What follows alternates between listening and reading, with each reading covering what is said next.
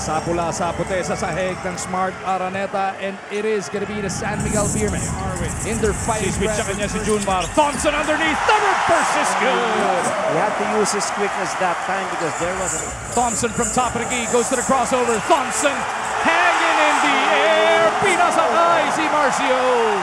Now that was a different kind of a matchup because he was up Late against in game number two, di ba, Coach RG, when they mounted that comeback as Thompson knocks down that triple from the left side. hindi ka na pwedeng mag experiment dyan. Formula na ang gagamitin mo. At itong si Thompson, nakahanap na rin ng magandang formula. Santos again, 16-foot jumper. No.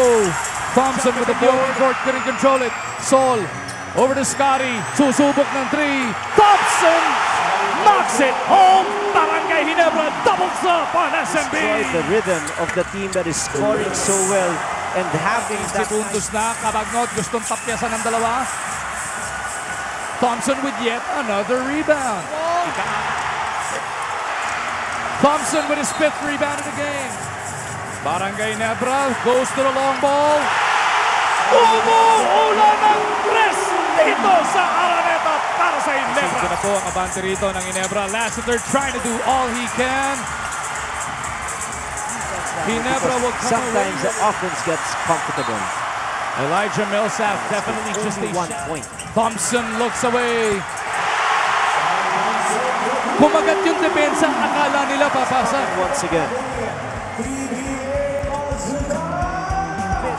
Destroying that cylinder of Scotty Thompson.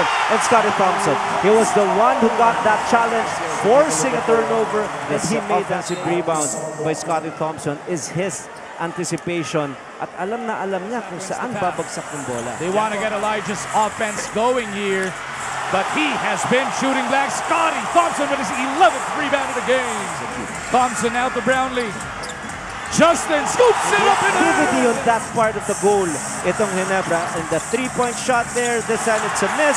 But look who got the offensive rebound. First time nagpahinga ni L.A. Tenorio, no? Oo, hindi. Mahabang mahaba na dahil ang ganda ng uh, pasok ni Mariano. But just look at Thompson. He's just